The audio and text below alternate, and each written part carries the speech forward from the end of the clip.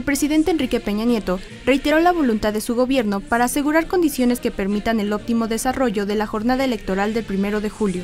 Como cada seis años, nuestro país vive un intenso proceso electoral que refleja la vitalidad de nuestra democracia y que definirá el rumbo de nuestra nación. Quiero reafirmar ante ustedes la determinación del Gobierno de la República de asegurar condiciones que permitan la libre expresión y el respeto a la voluntad de la ciudadanía. Con ello, fortalecemos nuestras instituciones y contribuimos a mantener un ambiente de certidumbre para el desarrollo del país.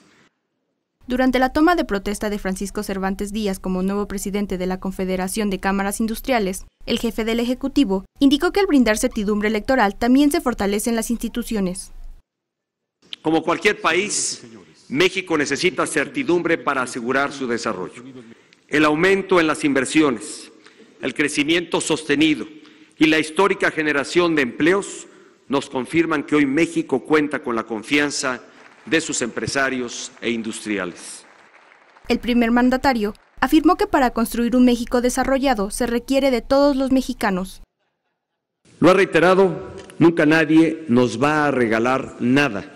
Construir el México desarrollado que anhelamos es tarea de todas y todos los mexicanos. Y una clave para lograr ese México próspero y productivo es contar con un entorno atractivo para las inversiones. Y ustedes lo saben muy bien, México no siempre ha podido mantener las condiciones propicias para la inversión. En distintas épocas, la incapacidad para generarlas causó mucho daño a nuestra economía y al bienestar de las familias mexicanas.